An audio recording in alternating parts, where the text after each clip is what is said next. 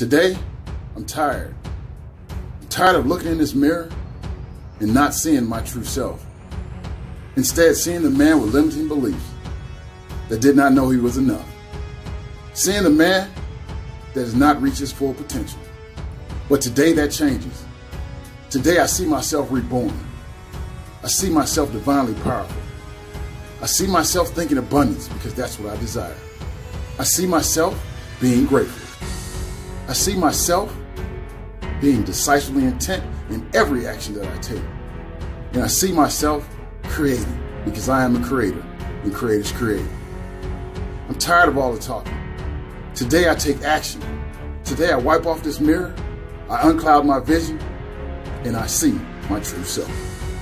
That's Drew's Reminders. Have a great day.